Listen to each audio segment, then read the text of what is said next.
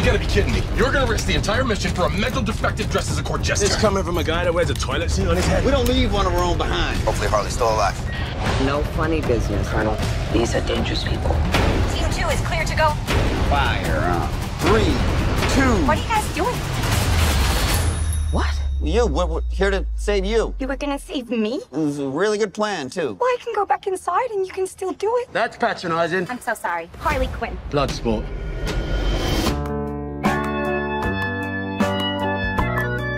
You know the deal.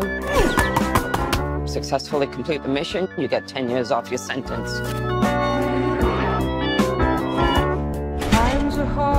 You fail to follow my orders in any way, and I detonate the explosive device in the base of your skull. So this is the famous Suicide Squad.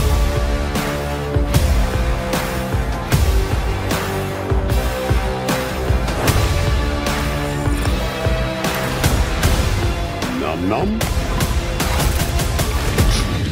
Any questions? Hand? Yes, that is your hand. Very good. we're all gonna die. I hope so. Oh, for fuck's sake. Here's the deal. We fail the mission, you die. If we find out any information you give us is false, you die. If we find out you have personalized license plates, you die. What? No. If you cough without covering your mouth. Harley, although that isn't an open invitation for you to cough without covering your mouth. What's the plan? How the hell am I supposed to know? You're the leader. You're supposed to be decisive. And I've decided that you should eat a big bag of dicks. If this whole beach was completely covered in dicks, and somebody said I'd eat every dick until the beach was clean for liberty, I would say no problemo. Why would someone put penises all over the beach? Who knows why madmen do what they do?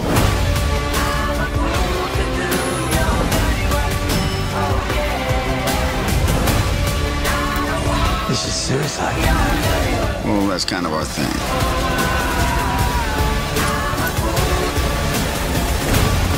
Don't you worry, eh? I'm gonna get you out of here alive. I'm going to get you out of here alive.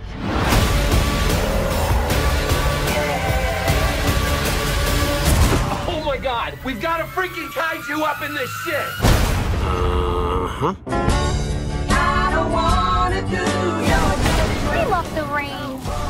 Angels are splooching all over us.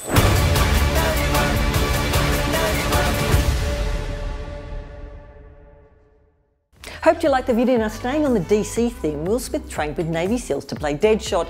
In order to give Deadshot his all, Smith went and trained with Navy SEALs and Army Rangers to ensure that the way Floyd Lawton handled weaponry would be as convincing and realistic looking as humanly possible.